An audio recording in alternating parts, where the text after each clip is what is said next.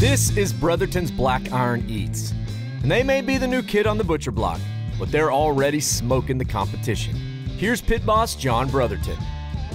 Is this this line's normal now for It you? isn't is normal, yeah. We get pretty crazy in here at lunchtime for sure. Phenomenal. Yeah. I don't know if you can break away or not, but I'd love to sort of see what you guys do. Yeah, let's do it, man. I'll take you out to the pit. Perfect place to start. Let's do it. Oh, it smells good in here. Well, this isn't exactly convenient to like step out the back door and check. No, it's not. We're uh, out here at the end of the parking lot. So Hey man, it doesn't matter where you are. It's what's on the plate, though, right? Yeah, exactly. So uh, pretty much everything's come off. We still got some uh, some briskets that are still on here finishing up. This doesn't look like a traditional pit. It's still indirect heat, right? It is absolutely One So- firebox down there. Yeah, everything that we cook with is uh, Central Texas post oak. I know that uh, you know this is the traditional barbecue world, but you're far from traditional in the kitchen. Yeah, we are far from traditional. We do a lot of a lot of crazy stuff. Let's go A look. lot of Let's go different look. stuff. Yeah, absolutely.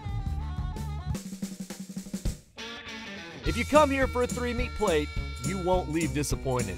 But John and his co owner, Chef Marvin Briley, have taken Texas Q to the next level.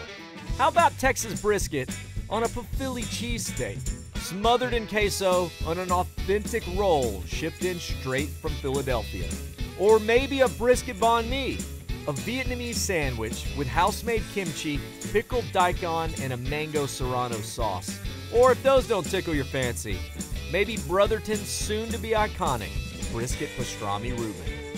Start off with a pastrami, which we brine in house, and then it's got a uh, pepper coriander uh, bark on it, or you know the Oh, rub, beautiful. is pepper and coriander.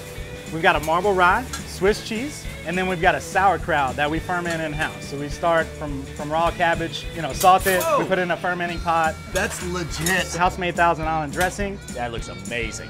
It's taking everything within me to not just go in, go to town. Is that that is that for another customer? That's for you, Chet. What? Yeah, Can, that, we're generous. don't like that, tease. man. don't Yeah. tease me like that. Have at it. Holy That's not bad. smokes. That not bad.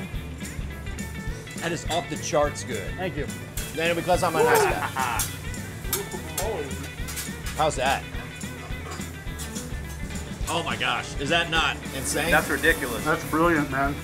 I don't know if I'm just starvingly hungry or if this is in fact the best sandwich I've ever eaten because it might be, might be, might be both of those. Things. It could be a combination. Yeah. Oh Yeah. gosh, that's good. You know, the only way to know for sure is to eat the others. As John and I sit down for a chat and a couple sandwiches. Look at that. Football on me. Fuck. We couldn't find a spot for the PF in that one, so we left it alone. Oh man. Woo. I love it. The, and the, the different pickling flavors coming from the kimchi, new element for Yeah, it. Yeah, it's not traditional to have kimchi on a on a banh mi or on a, a barbecue sandwich for that matter. Me, Well, I get the idea you don't do much traditional. We don't do traditional. Yeah. Yeah. You know, when we first started this thing, you know, we were two separate businesses. Uh, Black Iron Eats, which did sandwiches, and, and then I did barbecue, you know, out of my garage and doing pop-ups once a month. It just made sense for us to kind of come together.